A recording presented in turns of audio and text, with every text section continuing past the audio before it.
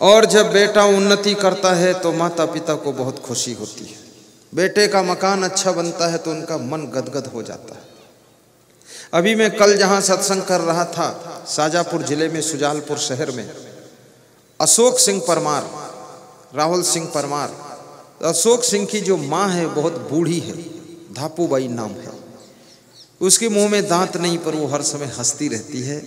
और फ़ोटो बहुत खिंचवाया उसने। सबसे आगे आ जाती थी मेरा फ़ोटो। और झुक के चलती है। तो मैंने कहा, इतना खुश क्यों है? तो उसने कहा कि, सब आनंद ही आनंद है।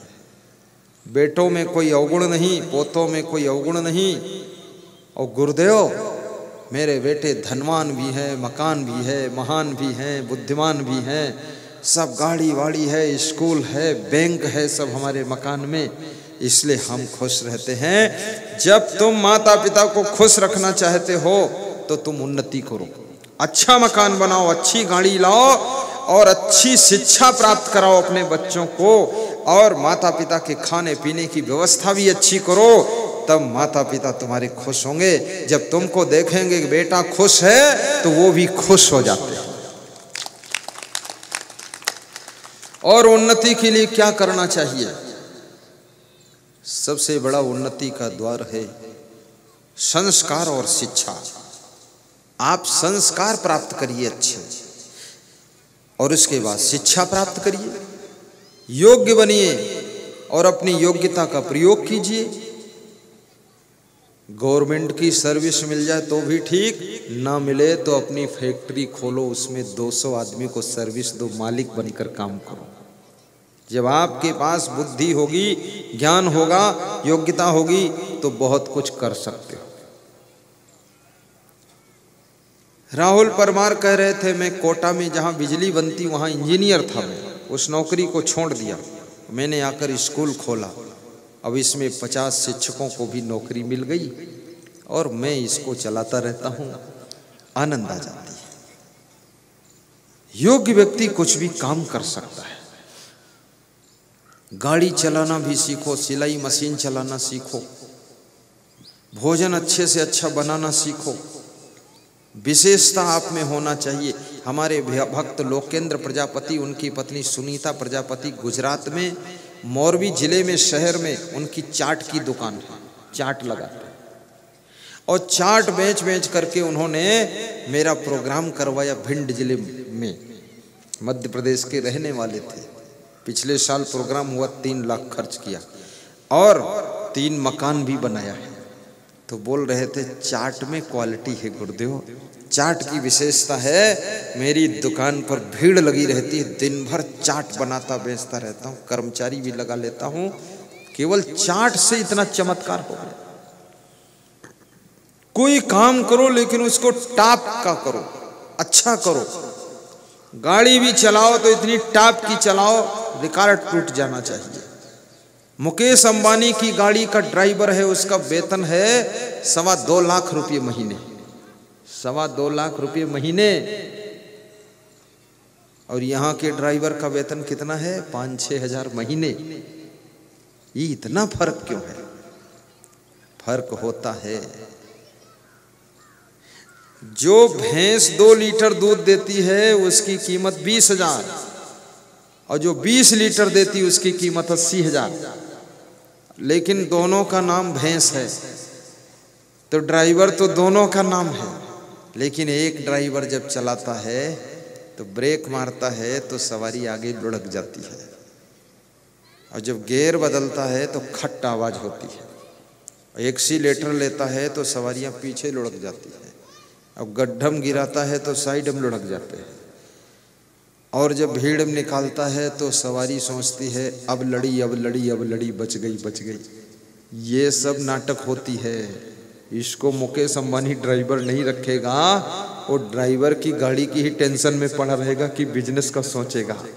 उसका ड्राइवर भी बहुत विशेषज्ञ है।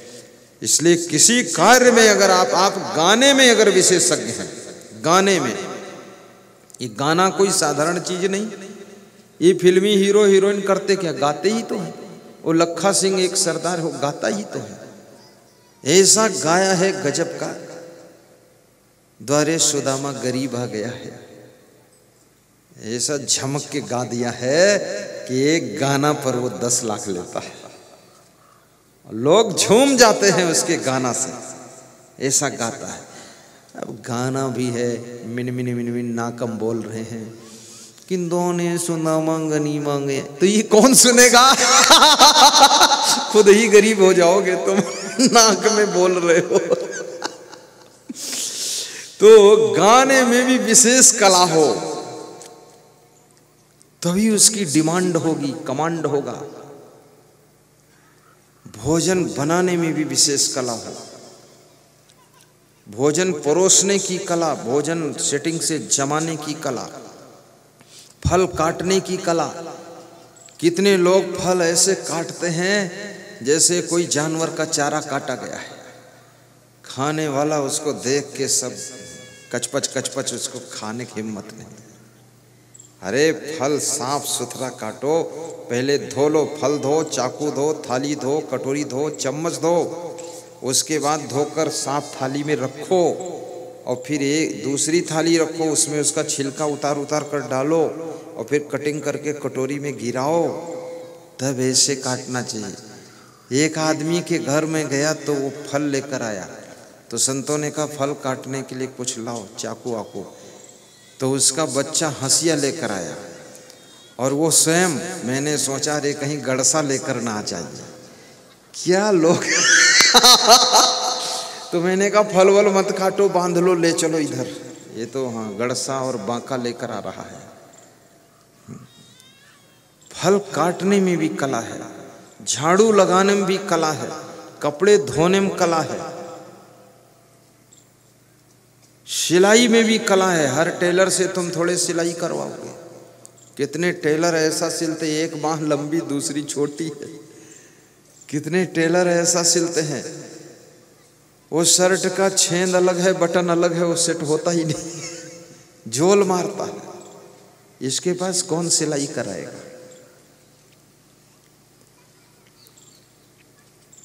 मकान भी बनाने की कला सीखो अच्छा मकान बनाओ, राजगीर मिस्त्री बनो।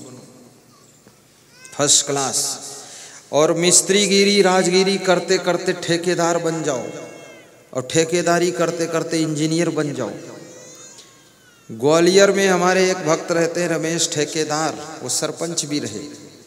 तो कह रहे थे, ऐसे मकान में बनाता था, बनाते बनाते ठेकेदार बन गया और ठेकेदार से मैं इंजीनियर हो गया।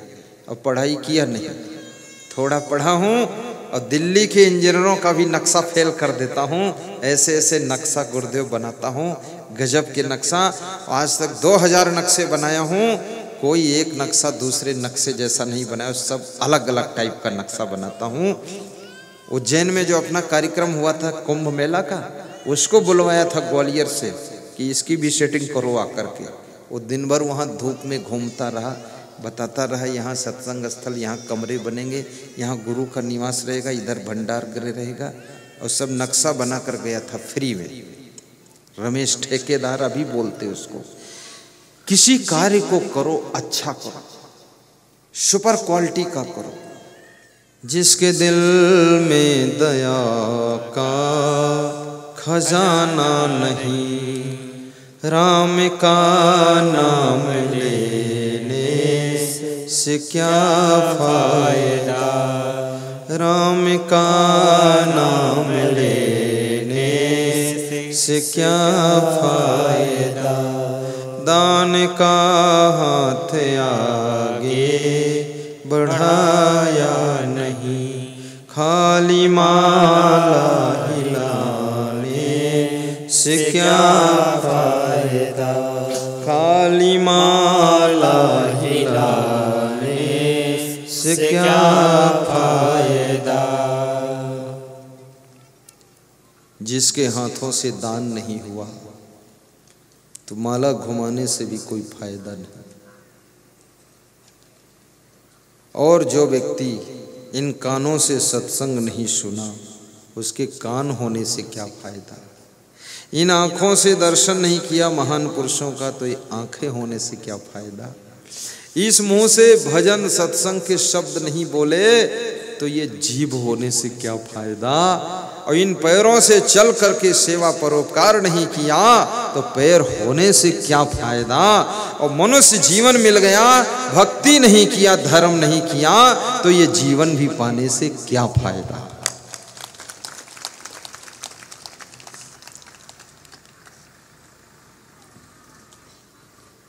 फिर से गाइए, पाकि मानुष कतन जो किया ना भजन, पाकि मानुष कतन जो किया ना भजन। तेरा दुनिया में आने से क्या फ़ायदा? तेरा दुनिया में आने से क्या फ़ायदा? जिसको मतलब है बस अपने आराम से। दूसरों की मुसीबत से क्या वास्ता? जिसने माता पिता की न सेवा किया। जिसने माता पिता की न सेवा किया। उसको गंगा नहाने से क्या फ़ायदा? उसको गंगा नहाने से क्या फ़ायदा? उसको गंगा नहाने से क्या फ़ायदा? बहुत बड़ी बात है याद रखना।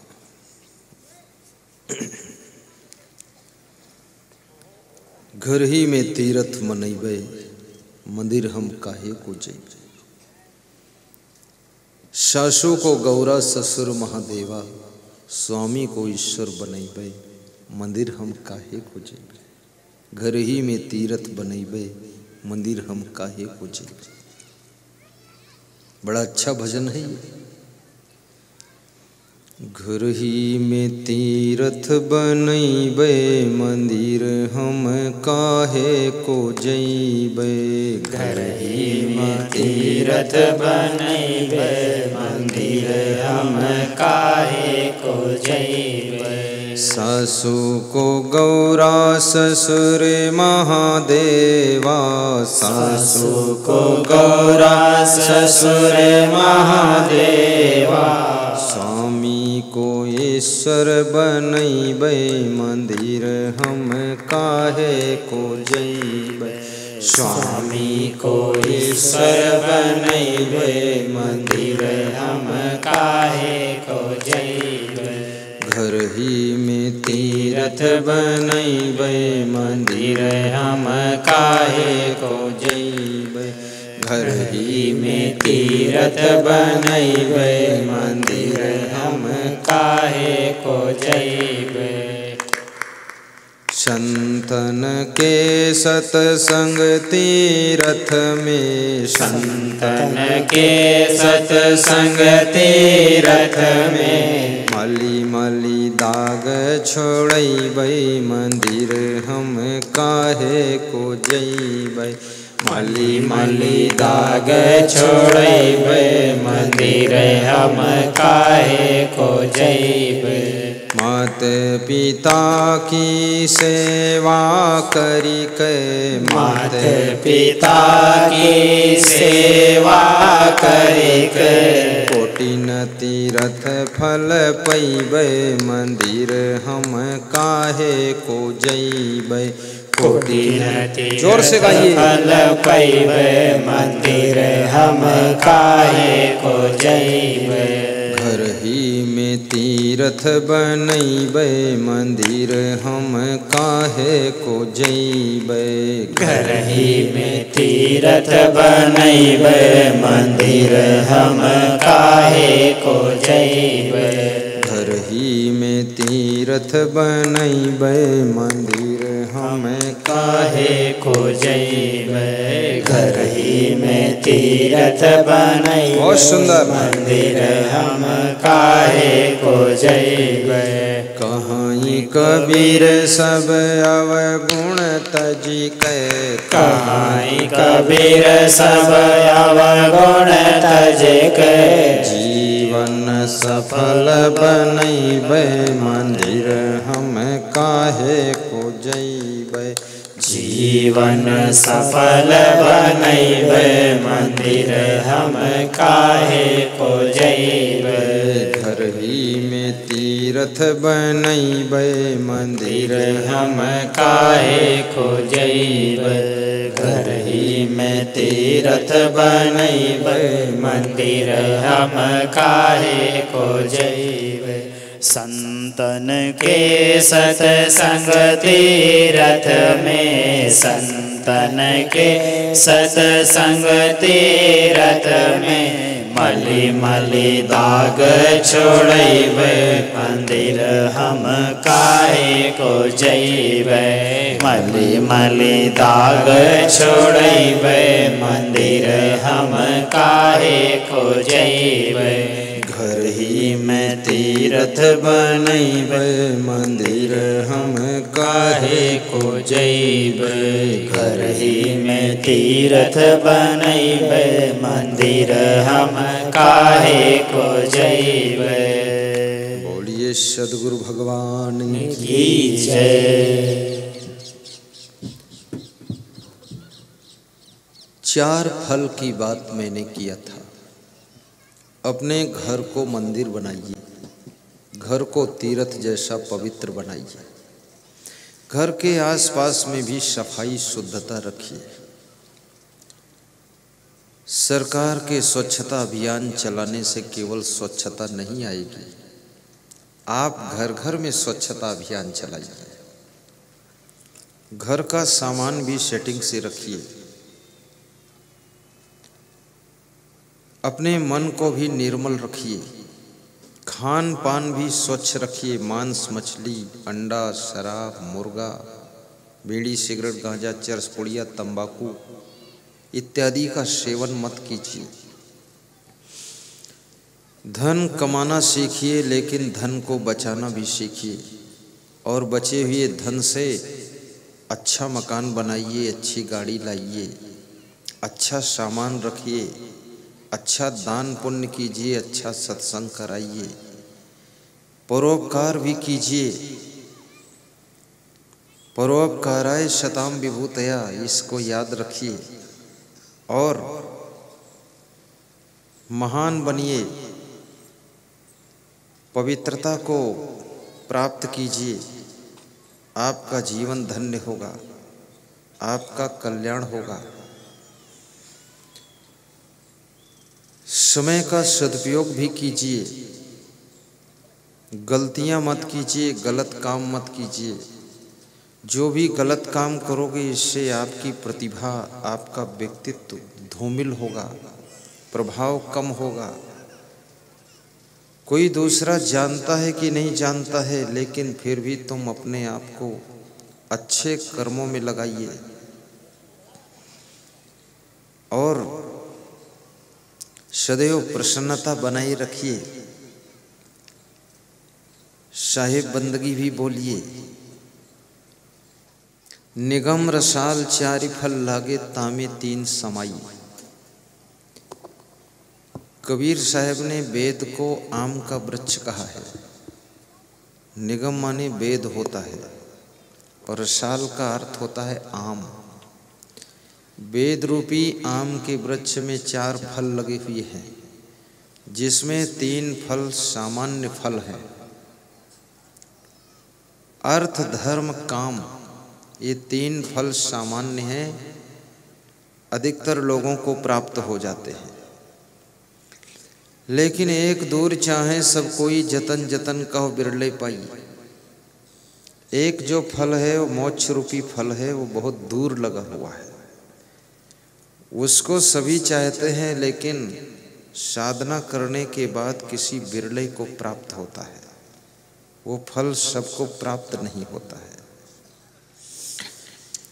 धन्य माता पिता, धन्य गोत्रम, धन्यम कुलोद्भवा, धन्य च वसुधा देवी, यत्र सद गुरु भक्तता। वे माता पिता महान होते हैं जो अपने बच्चों को अच्छे संस्कार देते हैं। अच्छी प्रेरणा देते हैं। बैठने, उठने, बोलने, चालने का ज्ञान देते हैं। कहाँ कैसे व्यवहार करना चाहिए, ये समझ बूझ देते हैं। केवल धन संपत्ति अपने बच्चों को देना तो सभी माता पिता जानते हैं। लेकिन धन पाकर के आपके बच्चे धन्य नहीं हो सकते हैं। जब वे अच्छे संस्कार प्राप्त करते हैं तो आपके बच्चे धन्य हो जाते हैं और जहाँ जाते हैं, वहाँ उनका सम्मान भी होता है।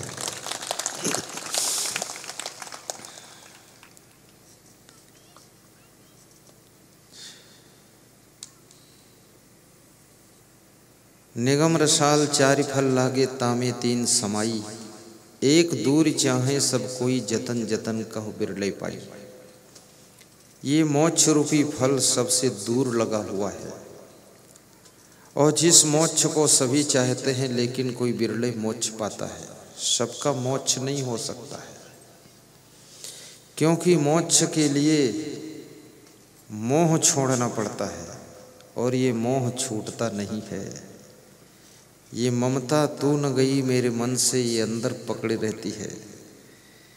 श्री कृष्ण भगवान से अर्जुन ने पूछा है कि जिनको मोक्ष चाहिए, उन्हें क्या करना पड़ता है?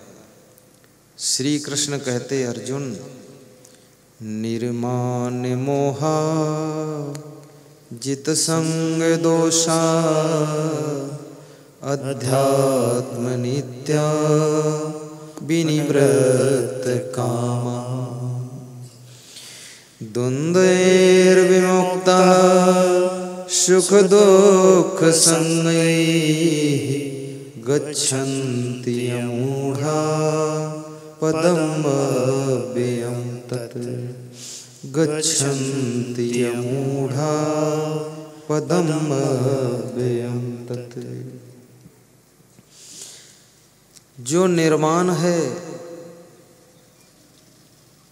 महान होते हुए भी, योग्य होते हुए भी जो अभिमान नहीं करता है। जिसने अभिमान को जीत लिया है, वो मोक्ष के लिए योग्य होता है। जिसने मोह को जीत लिया है, नष्टो मोहा स्मृतिर लब्धा है, वो भी मोक्ष के लिए योग्य होता है।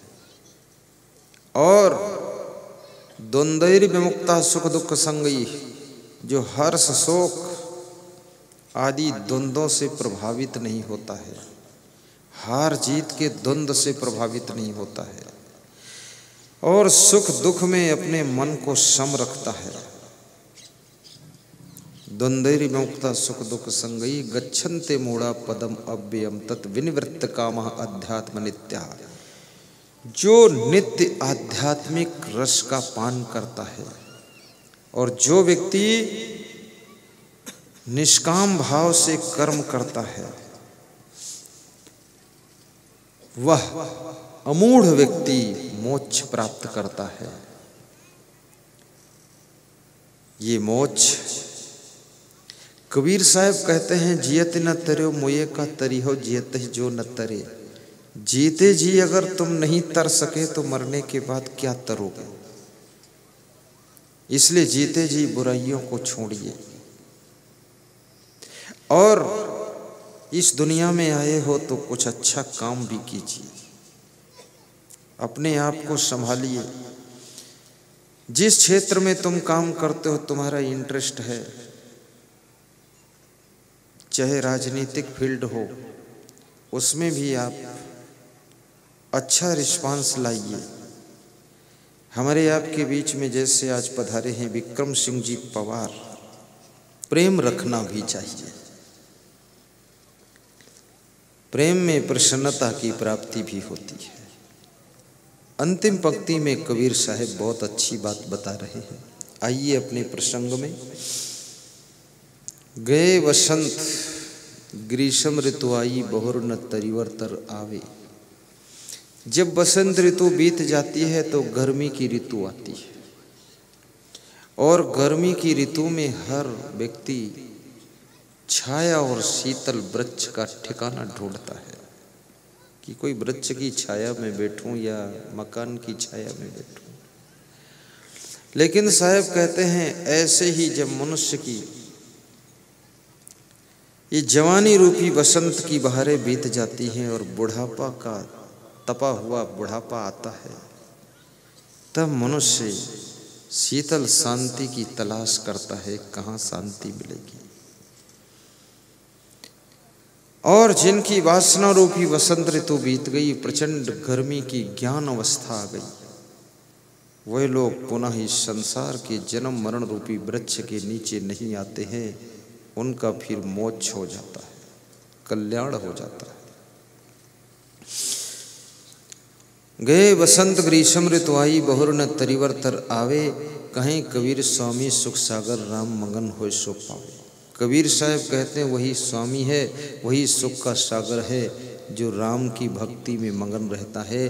अर्थात, जो गुरु भक्ति करता है, सत्संग श्रवण करता है, सदाचारी बनता है और अच्छे आचरण रखता है समाज की सेवा करता है, उस व्यक्ति को ही आनंद की प्राप्ति होती है। आपको आनंद मिले, सुख मिले, दूसरा प्रश्न मैंने आपके बीच में रखा था, महात्मा विद्रु का। जिसके घर में छह बातें होती हैं, उसके घर में सुख रहता है। अर्था गमो नित्यम, नंबर एक, जिसके घर में आर्थिक आमदनी का स्रोत नित्य है। अरोगिताचा और जिसके घर के लोग निरोगी रहते हैं बड़े बड़े रोग नहीं स्वस्थ रहने के लिए स्वच्छ जल पीजिए, शुद्ध भोजन कीजिए, और साथ साथ में थोड़ा मेहनत ज़्यादा कीजिए। बिना मेहनत के भूख नहीं लगती है और बिना परिश्रम के शरीर थकता नहीं है और बिना थके शरीर ठीक से सोता भी नहीं, नींद भी नहीं आती। इसलिए थकना ज़रूरी और आयुर्वेदिक दवाइयों का प्रयोग भी कीजिए। थोड़ा थोड़ा बीमारी हो, थोड़ा दवाई ले लीजिए। आयुर्वेदिक दवा, चूरन चटनी वाली। तुरंत इंजेक्शन मत लगवा लीजिए। एलोपैथिक दवा तो लास्ट फाइनल में लीजिए, जब बहुत बीमारी बढ़ गई है। अन्यथा ये आयुर्वेदिक आंवला, हरड़, बहेड़ा, ये चीज़ें बहुत फ़ायदा करती है। और जड़ से रोग को ख़त्म भी करती है। अभी एक डॉक्टर कह रहा था कि लोग पुनः आयुर्वेद पर वापस लौट रहे हैं। आयुर्वेद में बड़ी शक्ति है। जिनकी भयंकर बीमारियाँ हैं, पथरी का रोग है बवाशीर है जिनके जॉइंटों में दर्द होता है, घुटना दर्द है। जिनका पेट बहुत दिनों से कब्जियत से परेशान है, ऐसे लोगों की यहाँ राजस्थान के एक सज्जन श्री चेवन आयुर्वेद कंपनी की शुद्ध पवित्र दवाएँ लेकर आए हैं। उनसे लेकर के आप भयंकर बीमारियों से छुटकारा पा सकते हैं और उनके पास बहुत सारा स्टॉक है। और मन में अगर बीमारी है, मन में आपके ज़्यादा टेंशन रहती है, तनाव रहता है, उसके लिए सत्संग श्रवण कीजिए। और यहाँ पर पुस्तक की दुकान लेकर के, जहाँ जीने की राह, सुख की खोज, भवयान जैसी पुस्तकें प्राप्त होती हैं, उन पुस्तकों को लीजिए और पढ़िए। गुरुदेव की तस्वीर भी लीजिए, लगाइए, मन को शांति दीजिए और थोड़ा ध्यान भी सुबह सुबह कीजिए। और यहाँ पर एक माला बेचने आए हैं वो, मध्य प्रदेश के ही है। भी दो तीन दिनों से आए हैं। मेरे से कह रहे थे, मैं माला वाला रखता हूँ। आप भी माला फेरोगे गुरुदेव? तो मैंने कहा, मैं तो माला फेरता ही नहीं मैं तो मन को फेर देता हूँ। मन की माला घुमा दो। तो उनके पास में माला है, ऐसा कुछ सामान। ये आध्यात्मिक सामान है, धर्म वाला। उसमें से लेकर के आप माला गले में पहन सकते हैं। तो माला पहनना कोई आसान चीज़ नहीं, तिलक लगाना आसान चीज़ नहीं। एक आदमी तिलक धो रहा था हैंड पंप में। तो मैंने कहा, क्यों धो रहे हो? बोले अब इसलिए धो रहा हूँ। कि अब गलती करने जा रहा हूँ। क्या गलती करने जा रहे बोले, शराब की दुकान पे जाना है। इसलिए तिलक लगाकर जाने की हिम्मत नहीं पड़ रही है।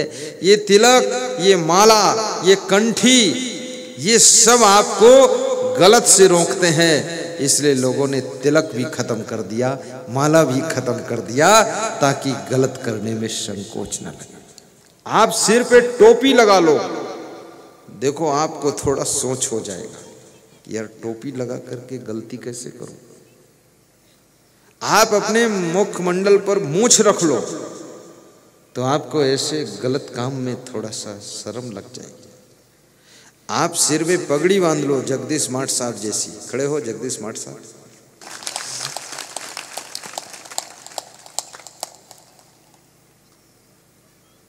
धन्य हो मास्टर साहब। तो अर्थागमो नित्यम अरोगिता चा। आपका शरीर भी निरोगी रहे, मन भी निरोगी रहे। मन में काम, क्रोध, लोभ, मोह, ईर्ष्या, द्वेष ये पैदा न होने पाए। मन के अंदर लोग इसलिए ज़्यादा परेशान हैं, दुखी हैं कि उनका मन शुद्ध नहीं है। मन में बड़ी चंचलता है, मन में गड़बड़ेशन है।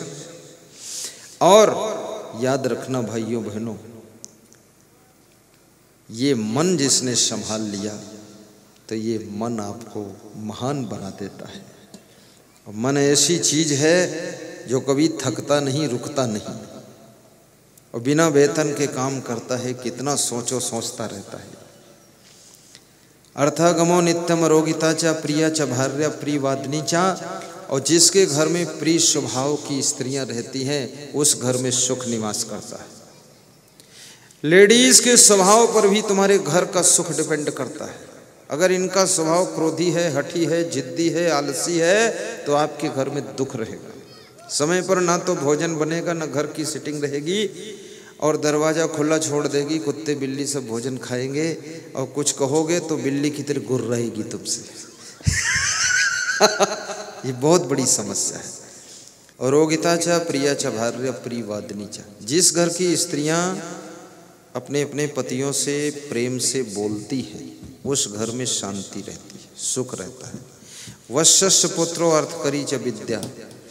और पांचवी चीज़ जिस घर के पुत्र पिता के आज्ञाकारी है। बात नहीं लड़ाते हैं अपने पिता से, माता से। आज्ञा मानते हैं। और जिस घर के सभी सदस्य कलाकार है, होशियार है, बुद्धिमान है अच्छे तरीके से सब काम करते हैं, आलसी नहीं है। ये छठा गुण जिस घर में होता है, उस घर में सदैव सुख निवास करता है। इसलिए छह बातें अपने अपने घरों में पैदा कीजिए तो आपके घर में सदैव सुख रहे।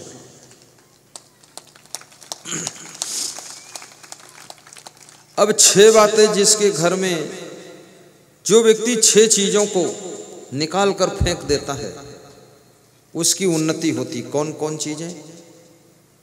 खड़दोषा पुरुषेणे हातव्याम भूत मिच्छिता अतिनिद्रा, तंद्रा भयम क्रोधम आलस्यम दीर्घ सूत्रता जो अति नींद नहीं लेता है,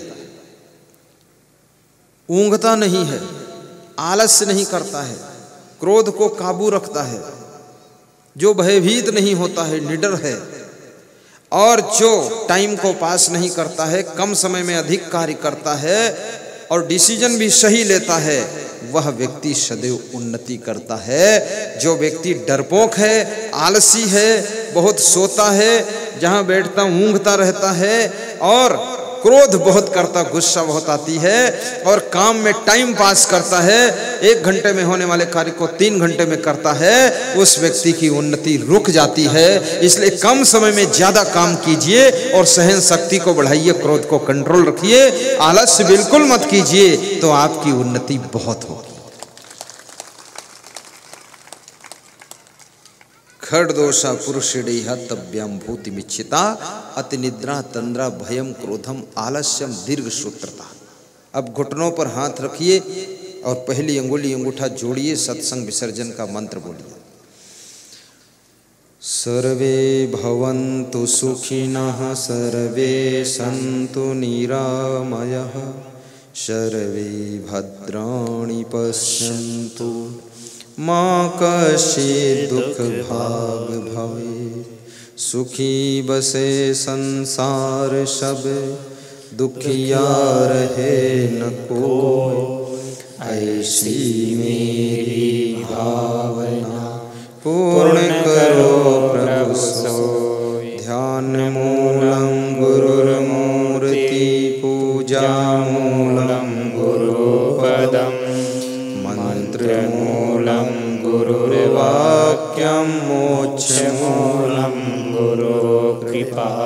शांति शांति शांति। सभी श्रोता नयन बंद करके ध्यान मुद्रा में बैठ जाएँ। नयन बंद कर ले।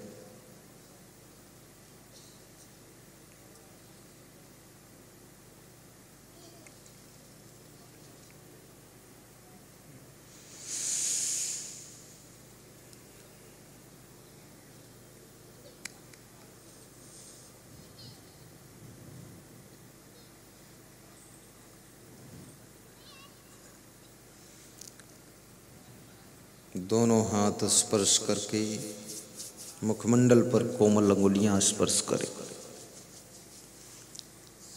ताली बजाते हैं।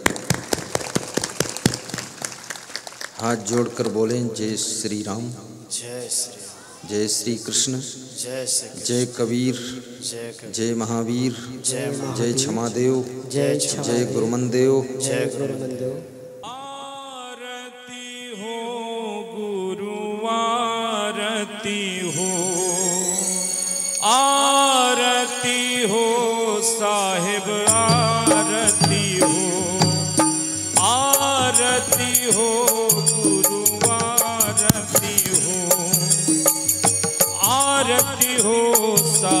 आरती हो। आरती गरीब निवाज साहेब आरती हो। आरती दीन दयाल साहेब आरती हो। ज्ञान आधार विवेक की बाती ज्ञान आधार विवेक की बाती। सुरती ज्योति जहाँ साहेब आरती हो। आरती गरीब निवाज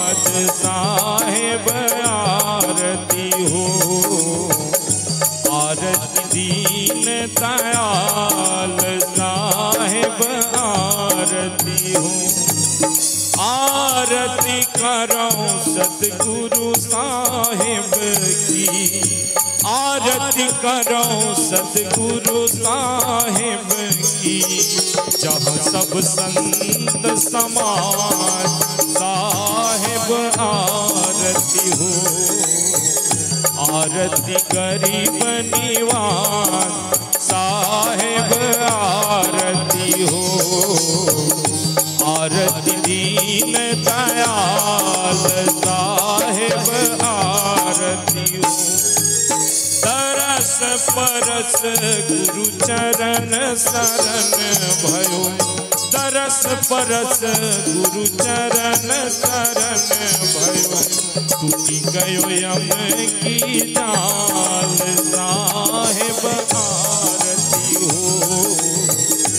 आरती गरीब निवाज साहेब